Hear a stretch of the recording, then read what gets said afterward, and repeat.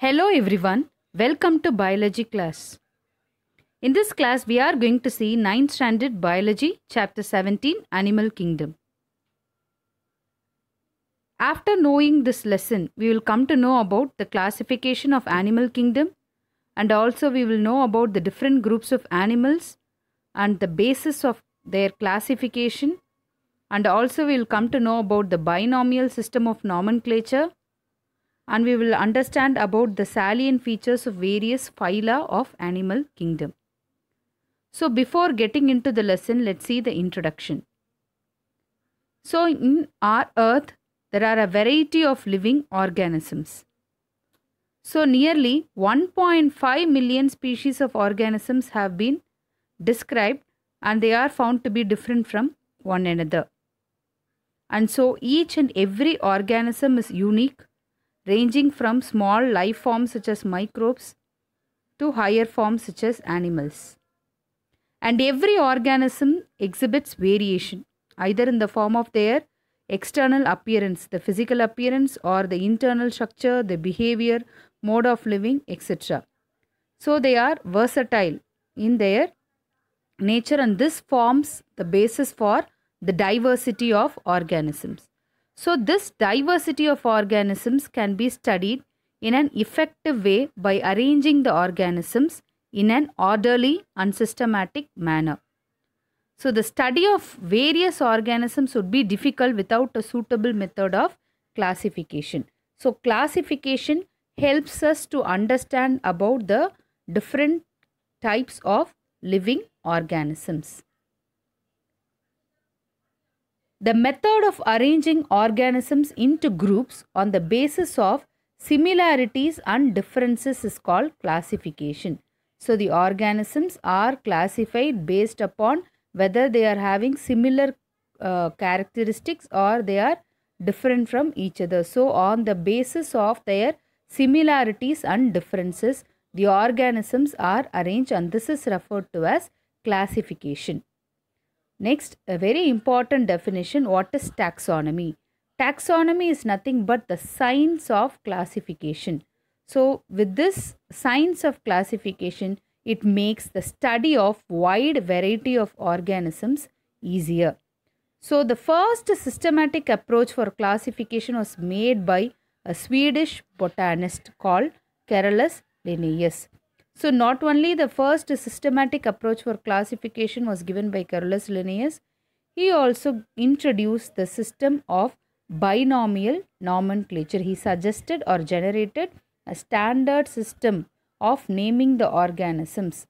Uh, and uh, the naming the organism is using Latin terms, and this system of naming the organism using Latin term is called as binomial nomenclature, which was introduced by this person none other than Carolus Linnaeus. The classification is the ordering of organisms into groups. So already I told you the classification is ordering the organisms into groups based on their similarities, differences and their relationship. Uh, we have known about different uh, kinds of classification system. Here they have mentioned about the five kingdom system of classification it was proposed by R.H. Whittaker and the five kingdoms according to his classification system are Monera, Protista, Fungi, Plantae and Animalia. And uh, how these uh, organisms are classified into five kingdoms, it is based on its cell structure, the mode of nutrition, body organization and reproduction.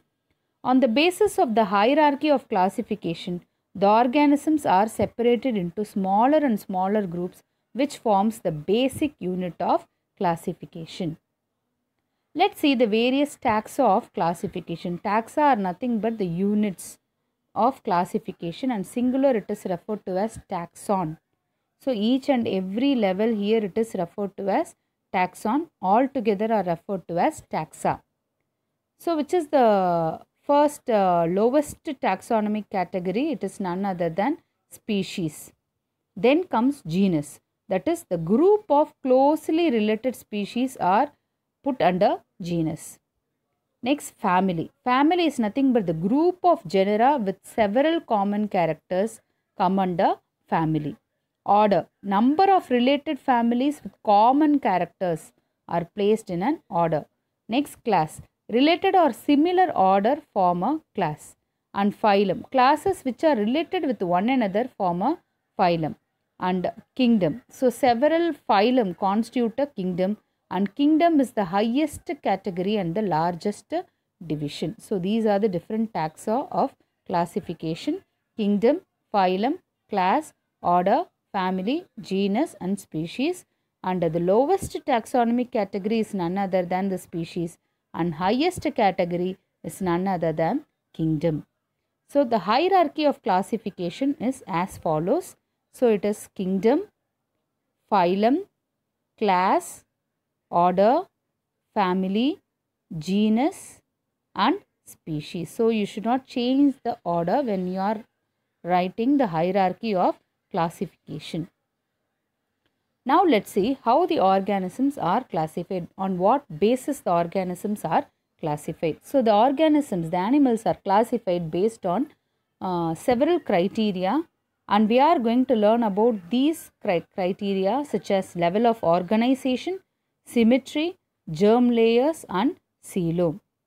The first criteria for classification is the level of organization.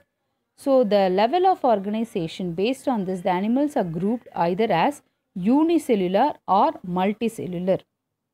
So this classification is based on whether they are having cell grade or tissue or organ or organ system.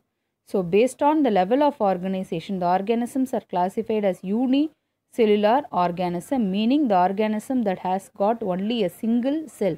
Uni refers to single and uh, multicellular organism, organism consisting of many cells. And example for unicellular organisms being amoeba, bacteria, paramecium and example for multicellular organism, plants and animals. So this is the first basis for classification level of organization. The second criteria for classification is the symmetry. Symmetry is nothing but the arrangement of the body parts, plane of arrangement of body parts. So there are two different kinds of symmetry, radial symmetry and bilateral symmetry. So radial symmetry is nothing but the body parts are arranged around the central axis. You have to be very clear with this word. The body parts are arranged around the central axis and the animal can be divided into equal halves in any direction. So here they have shown the direction.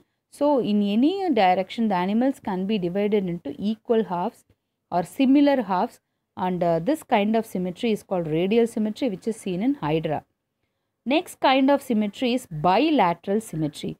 That is the body parts here are arranged along the central axis and the animal can be divided into equal halves through only one plane. Example, frog.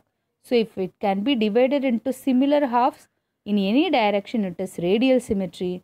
And if it can be divided only into similar halves in only one plane, then it is called bilateral symmetry.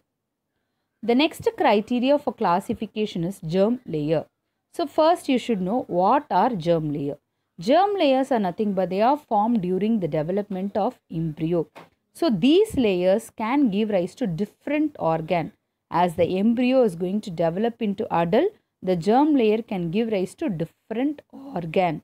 So the animals are classified into two types based on germ layer.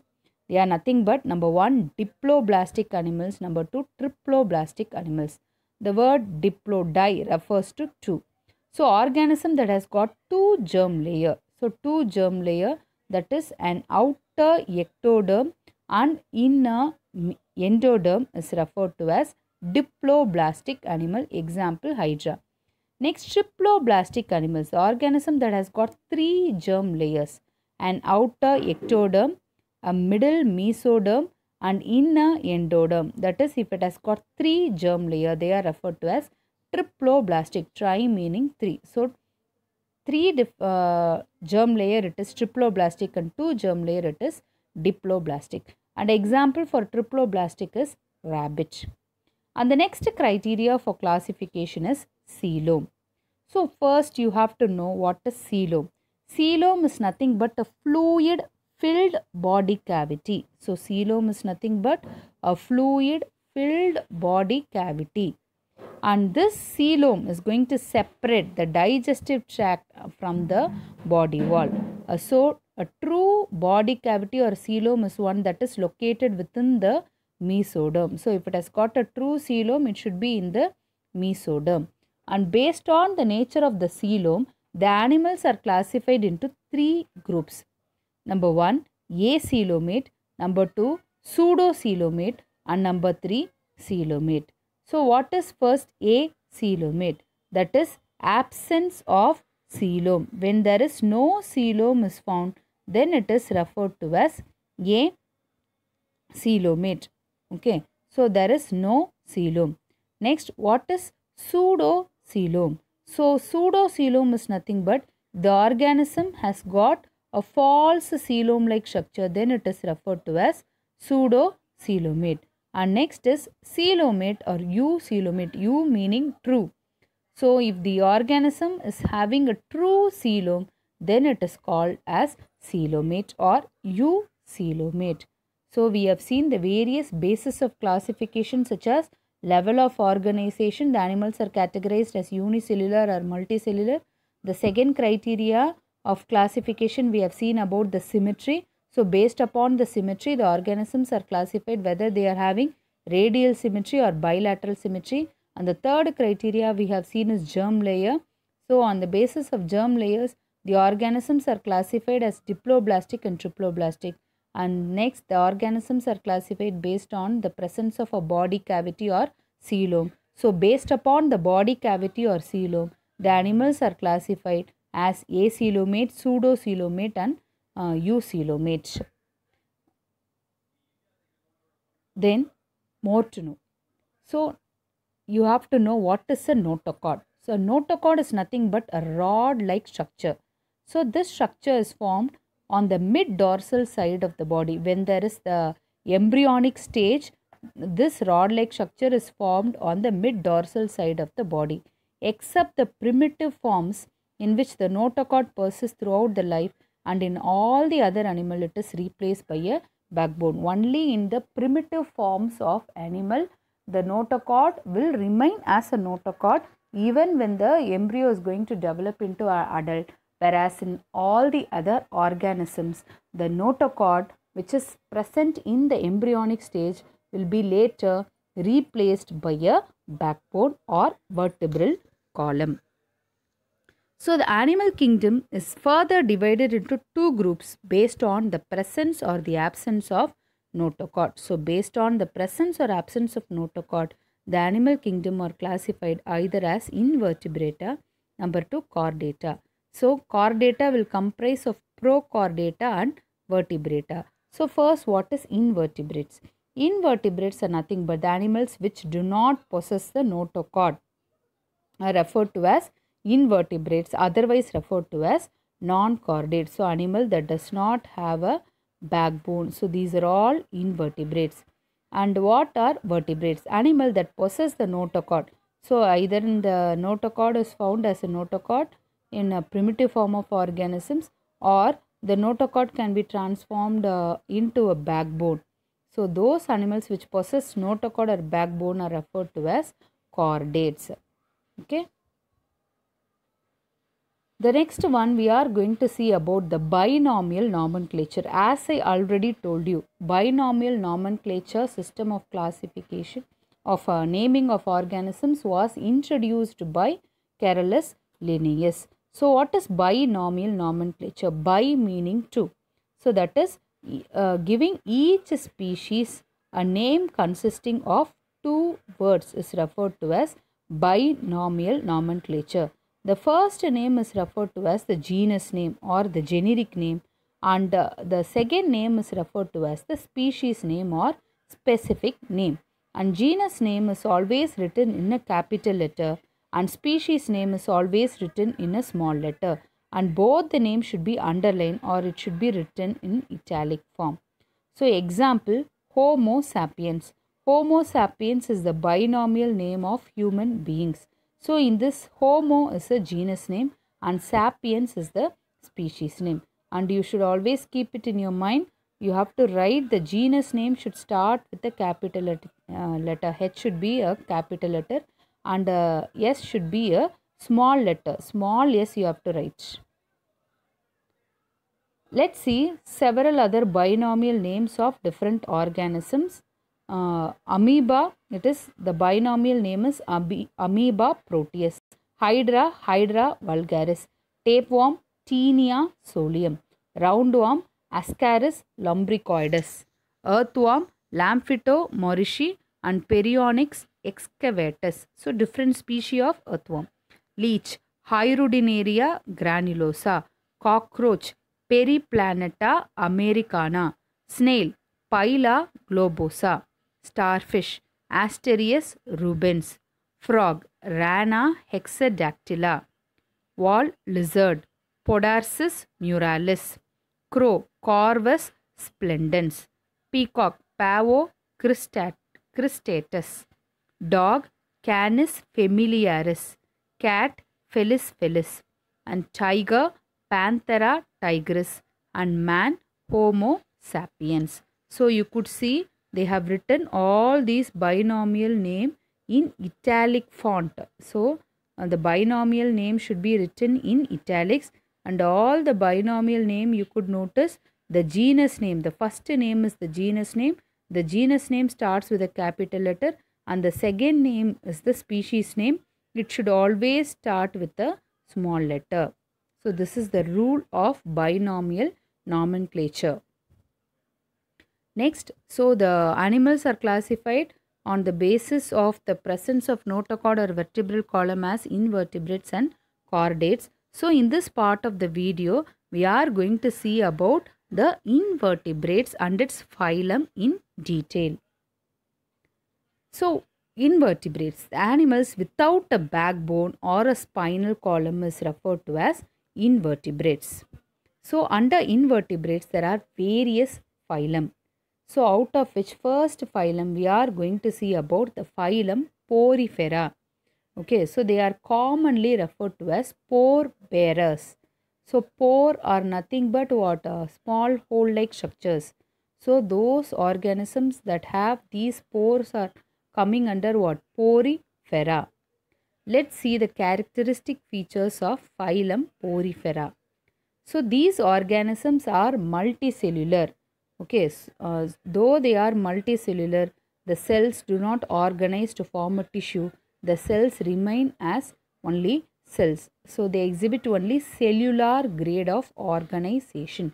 These organisms are non-motile, that is they cannot move from one place to another. So, they are non-motile and they are aquatic organisms meaning they are found only in water and the body is perforated. Perforated means it has got many pore-like structures and these pores are referred to as ostia. So in the body you can see many pore-like structures and these pores are referred to as ostia. So water enters into the body through ostia and leads into a canal system. So water will enter through these. So here you could see the water will enter through this pore-like structure called as ostia and, and this leads to a canal system. So it circulates water throughout the body. So as the water is getting circulated throughout the body, the water it carries along with it food and oxygen. So which will be uh, utilized by these poriferans. And the body wall will contain spicules and these spicules form the skeletal framework and the reproduction in these organisms takes place by both asexual and sexual methods. So asexual method is nothing but without the union of gametes and sexual methods takes place by union of gametes. Example for porifera include Euplectella, Sycon, sponges, etc. So that's it about the first phylum Porifera. Next, let's see about the second phylum called Cnidaria. So, phylum Cnidaria is otherwise referred to as phylum Coelenterata. So, both uh, uh, you have to remember both the names Cnidaria or otherwise referred to as Coelenterata. Let's see the features of this phylum Cnidaria. So, the phylum Cnidaria as I already told you, otherwise referred to as Coelenterata. They are also aquatic organisms. They are also found either in the marine water and uh, fresh water. And they are multicellular. And these organisms are radially symmetrical. And they exhibit tissue grade of organization. The before phylum we have seen cellular grade of organization. This phylum has got tissue grade of organization. And about their uh, germ layer they are diploblastic has got uh, two layers an outer ectoderm and an inner mesoderm they are separated by a non-cellular jelly-like substance called mesoglea. And it has a central gastrovascular cavity. So here you can find the organism is having a central gastrovascular cavity. And this gastrovascular cavity is referred to as coelenteron and hence these organisms are referred to as coelenterata and uh, it has got a mouth and the mouth is surrounded by tentacles so here you can find the tentacles and the tentacles will bear some stinging cells and uh, these stinging cells are referred to as cnidoblast or nematocyst. So that's it with the phylum Cnidaria or phylum Coelenterata. The next phylum we are going to, uh, sorry, before moving about the next phylum, let's see about the polymorphism in case of Cnidaria. So what is polymorphism? So polymorphism is nothing but the variation in the structure and function of the individuals of the same species. So uh, the structural differences seen by the members of the same species is referred to as polymorphism. So for example, here you can find two different uh, forms. One is polyp form, the other one is medusa form. So structure wise difference. So what difference you could see? Here you can find the mouth which is directed in the upward direction. So here you could find the tentacles whereas in case of medusa form you can uh, the mouth is directed uh, towards the lower side. So here the mouth is directed towards upper side and their body is cylindrical and here the mouth is directed towards the lower end and the body is like umbrella shaped. Okay. So uh, two different forms of organisms can be observed in Coelenterata or Cnidaria and this feature is referred to as polymorphism. And uh, the coelenterates also reproduce by both asexually and sexually and example for coelenterate are hydra and jellyfish. And another difference for this polyp and medusa form so the polyp, as I already told you, first point you have to remember the body is cylindrical and the mouth is directed upwards and these organisms are sessile that is they are fixed they cannot move whereas the medusa form the body is uh, like umbrella shaped and the mouth is directed towards the lower end and these forms are motile forms that is capable of movement. The next phylum we are going to see is about the phylum platyhelminthes, commonly referred to as flatworms. Uh, so these flatworms are bilaterally symmetrical. So I have already told you what is bilaterally symmetrical and they are triploblastic acoelomate organisms. And most of the platyhelminthes, they are parasitic in nature.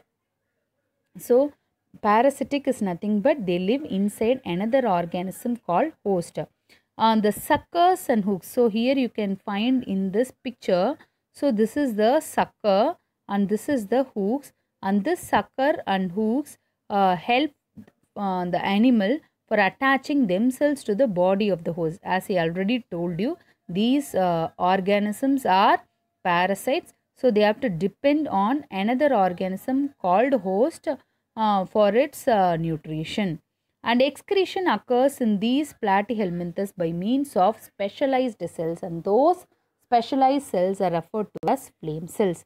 And platyhelminthes they are hermaphrodites. Again a very important term hermaphrodite. What are hermaphrodites? When the organism have both the male and female reproductive organ in the same individual then such an organism is referred to as hermaphrodite and example for platyhelminthes are liver fluke and tapeworm. The next phylum we are going to see is phylum Aschelminthes.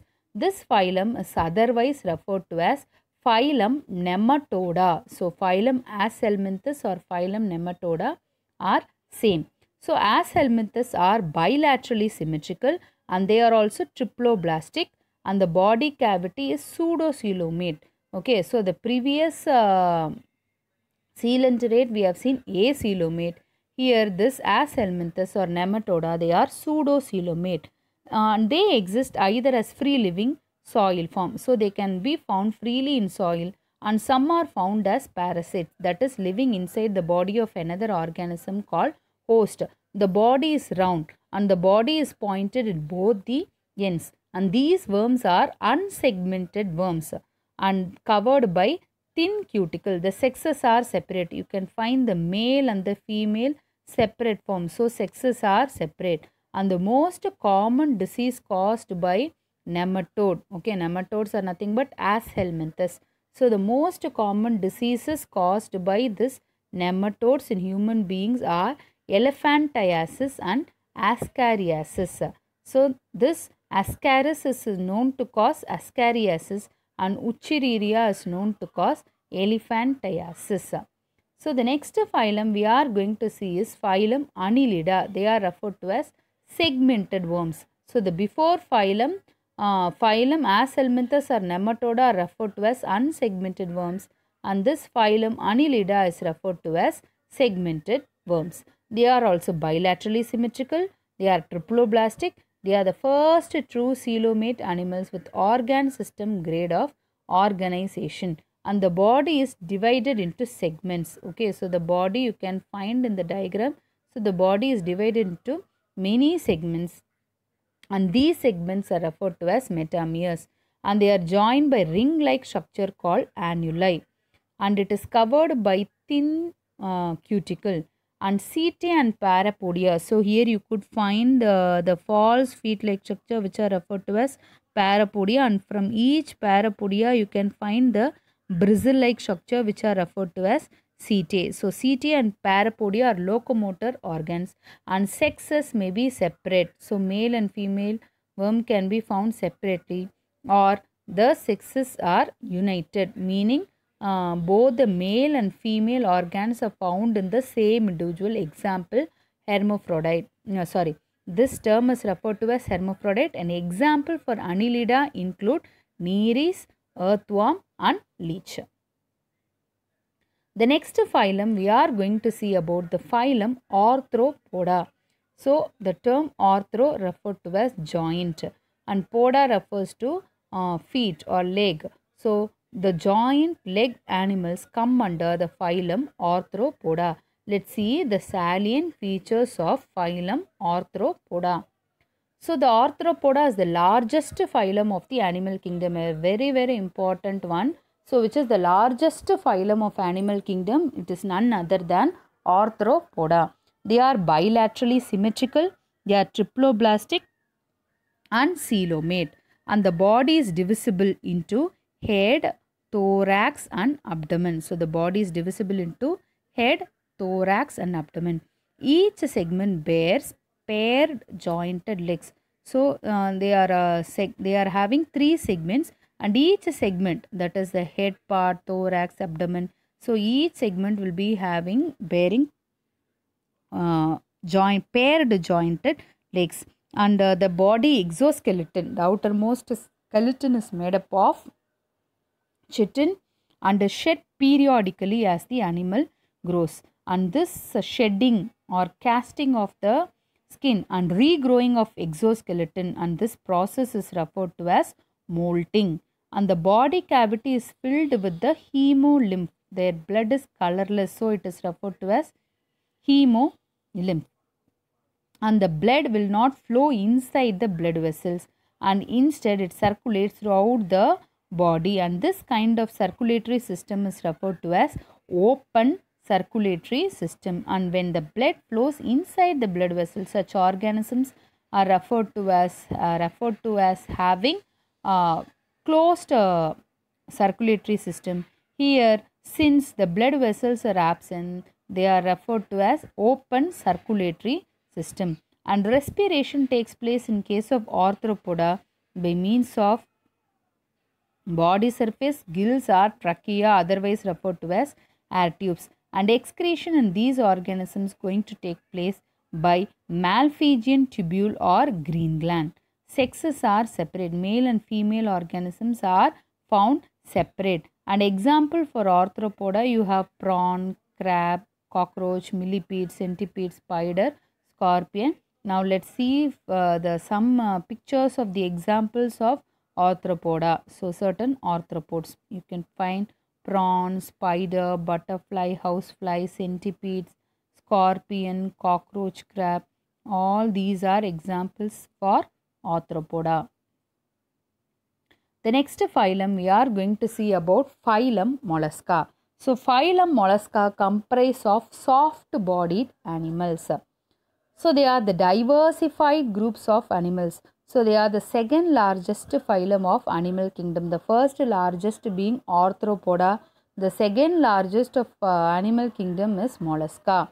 And they are found in uh, marine, fresh water and terrestrial habitat. Marine refers to the salt water or the sea water. And the body is bilaterally symmetrical and it is soft without segmentation and uh, the body here you could find uh, the body is divided into head and it has got a muscular foot and visceral mass so uh, the visceral mass is nothing but uh, it is covered with a soft epithelium and this visceral mass only will be containing the organs that are meant for digestion excretion and reproduction and the entire body is covered with the fold of skin. So here you could find in the diagram. So it is covered with a fold of skin which is referred to as mantle. And this mantle is known to secrete outer hard calcareous shell and respiration in mollusca takes place through by means of gills and these gills are referred to as ctenidia or lungs or both and sexes are separate with larval stages during development. Example, garden snail and octopus. And uh, the muscular foot which is found in mollusca is meant for locomotion of these organisms. And the next phylum we are going to see about uh, echinodermata. So before uh, going into about echinodermata, let's see one do you know about octopus. So octopus is the only invertebrate and which is capable of showing emotion, empathy. Empathy is nothing but uh, um, uh, we will stand in another another person's position and we will be able to uh, think. So that kind of attribute that uh, is referred to as empathy and cognitive function that is the brain functions like intellectual function, intelligence, and self-awareness, personality and even relationship with these uh, with the humans. And some speculate that without human, the octopus would eventually take our place as dominant life forms on the earth. So if humans are not there means for example, so which is going to be the dominant organism on earth, it will be octopus. Okay, and as I already told you, the last, uh, uh, uh the next phylum we are going to see is about echinodermata. So, uh, derma refers to as skin and echino refers to as spiny. So, spiny skinned animals comes under echinodermata. They are exclusively free living marine animals and these are triploblastic and they are true coelomate and they are having organ system grade of organization. The adult animals are radially symmetrical but the larval forms are bilaterally symmetrical. And a very unique feature of this echinodermata is the presence of water vascular system. And locomotion in these case of uh, uh, echinodermata is going to take place by means of tube feet. So find these structures are referred to as tube feet. So locomotion is going to take place by means of tube feet. And the body wall is covered with spiny, hard, calcareous ossicles.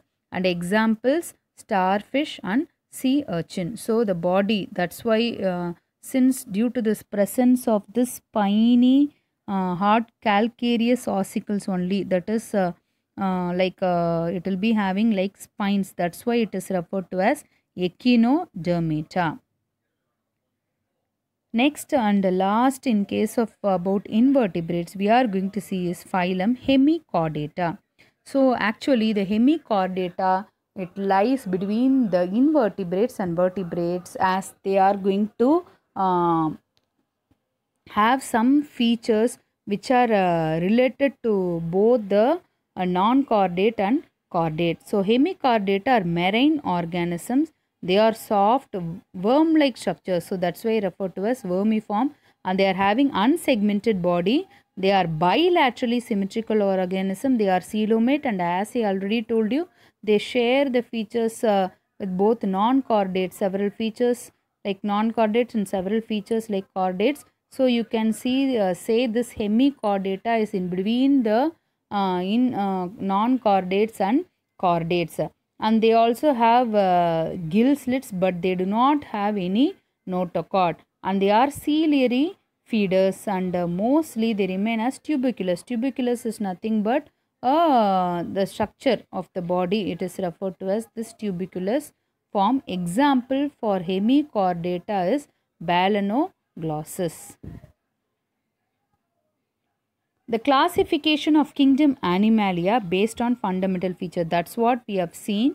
So this uh, um, flow chart is going to give a clear picture of what we have seen in today's class. So we have seen the classification of kingdom Animalia. So the first criteria what we have seen level of organization. So the organisms are classified based upon the level of organization as cellular level or tissue or organ or organ system level. Under cellular level of organization, only we have one phylum which is phylum Porifera. The next kind of classification is based upon symmetry. So, based upon the symmetry, the organisms are classified as radial symmetry or bilateral symmetry. So, under radial symmetry, you have only one phylum, Coelenterata, otherwise referred to as Cnidaria. And under bilateral symmetry, you have all the other phylum under bilateral symmetry. So, under bi, uh, this is about the symmetry. Next classification is based on coelom or body cavity. So, based upon the presence of coelom or body cavity, the animals are classified as acoelomate, pseudocoelomate and coelomate. So, acoelomate without any body cavity or coelom, pseudocoelomate, pseudo refers to false. So, these organism has got a false coelom like structure and a eucoelomate refers to true coelomate organisms. Uh, so, example for acoelomate is Platyhelminthes, example for pseudocoelomate is Aschelminthes and example for coelomate you have different phyla Annelida, Arthropoda, Mollusca, Echinodermata, Hemichordata and Chordata. So with this uh, we are coming to the end of today's uh, session. So we have seen about the introduction of the chapter and also we have seen about uh, the taxonomy and classification, the basis of classification and also we have seen various phyla under invertebrates. So the next class we, we shall see about the chordates and the various classes under chordates. Thank you.